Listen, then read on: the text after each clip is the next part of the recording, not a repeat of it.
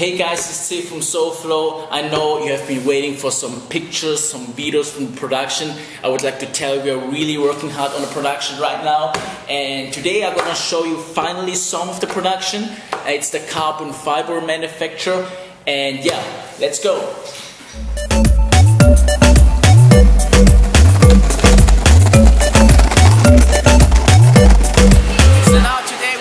Carbon fiber factory. As you can see here, we have a mold, carbon fiber mold. So before it goes into the heating system, the pressing machine, which press the mold together, we have to put the carbon fiber plate into the mold. Beautiful carbon fiber.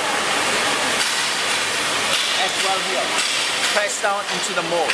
And after that, we can go to the pressing machine, heating pressing machine. Let's go there, over there.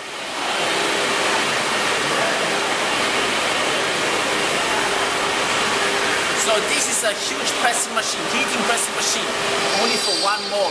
It takes about one and a half hour, one hour heating up to 145 degrees.